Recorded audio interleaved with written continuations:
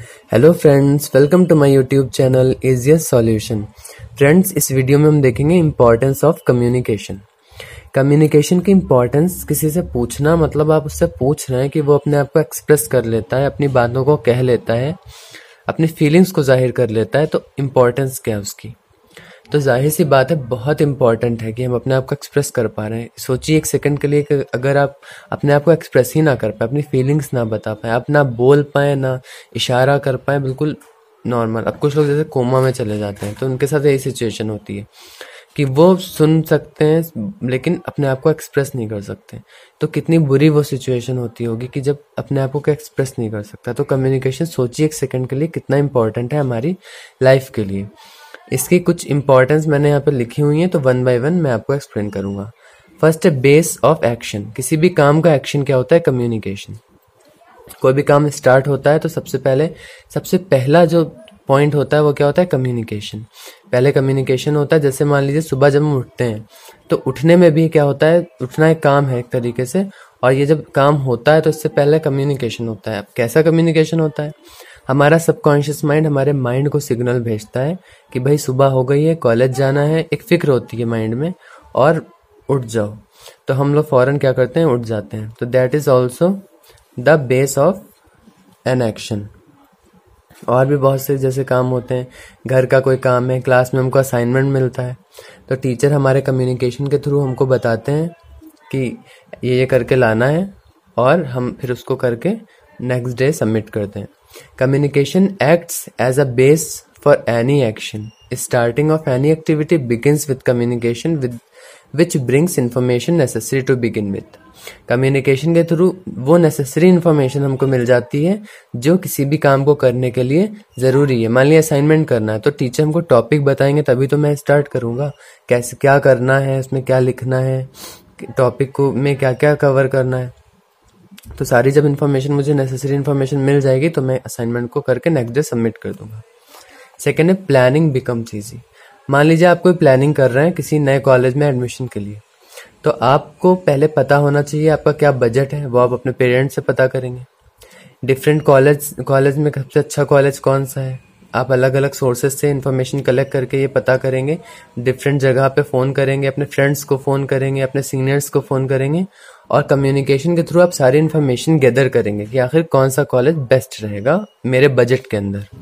फिर आप वहाँ पे एडमिशन ले लेंगे फाइनली तो प्लानिंग में क्या होता है? कम्युनिकेशन हमारी बहुत हेल्प करता है। Planning is made easy by communication any type of information regarding the human resource requirement of each department of the organization with their qualification the type and kind of job etcetera मान लीजिए कोई organisation है, उन्हें employees को recruit करना है।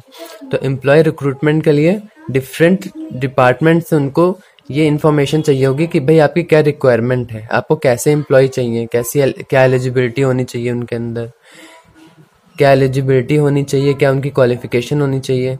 तो human resource department है जो रिक्रूटमेंट करेगा, वो पहले सारे डिपार्टमेंट से इन्फॉर्मेशन को कलेक्ट करेगा देन वो रिक्रूटमेंट प्रोसेस को स्टार्ट करेगा।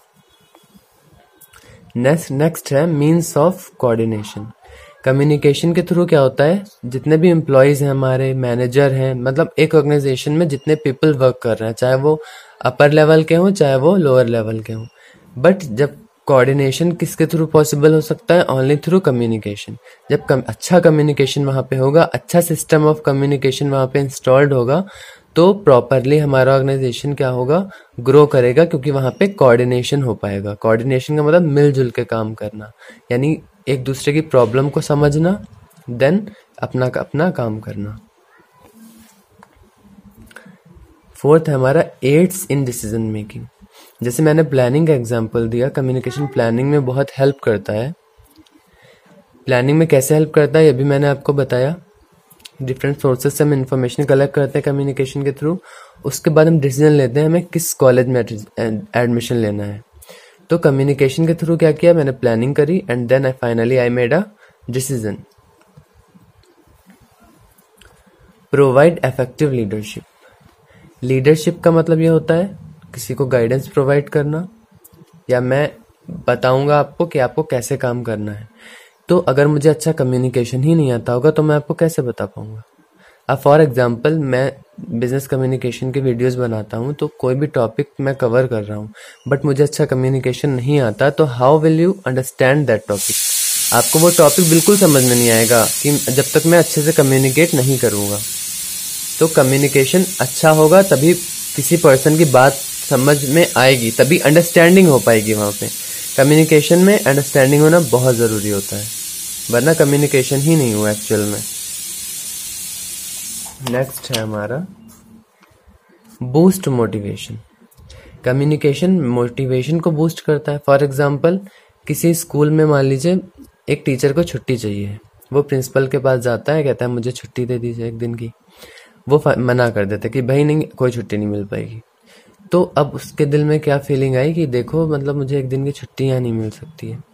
तो वो करेगा तो कुछ नहीं, अब मजबूरी में वहाँ पे जॉब करते हैं तो he will keep on doing job there but अब वो बच्चों को अच्छे से नहीं पढ़ाएगा। वो प्रॉब्लम्स क्रिएट करना शुरू करेगा वहाँ पे और कहीं ना कहीं स्कूल की प्रोडक्टिविटी पे भी इफ़ेक्ट पड़ेगा। तो क्यों? क्योंकि वहाँ पे अच्छा कम्युनिकेशन प्रिंसिपल ने नहीं किया। अगर वो अच्छा कम्युनिकेशन करते प्रॉपरली बताते छुट्टी तब भी नहीं देते वो, लेकिन प्रॉपरली कम्युनिकेट ही कर लेते खाली, उसको अच्छे से बता देते कि भाई ये ये ऐसी प्रॉब्लम है, हमारे पास टीचर कम है, या मैनेजमेंट नहीं हो पाएगा सही से, मुझे मैनेज करने में प्रॉब्लम होगी तो अभी आप छुट्टी ना लीजिए। तो ऐसे करके अगर वो कह देते तो वो छुट्टी भी नहीं लेता मतलब काम भी उनका बन जाता और कोई प्रॉब्लम भी ना आती। तो अच्छा कम्युनिकेशन मिसअंडरस्टैंडिंग नहीं क्रिएट करता है, और मोटिवेशन को बूस्ट रखता है। फ्रेंड्स अगर आपको वीडियो पसंद आया हो तो इसे लाइक करिए, हमारे चैनल को सब्सक्राइब करिए और ज़्यादा से ज़्यादा शेयर करिए। Thank you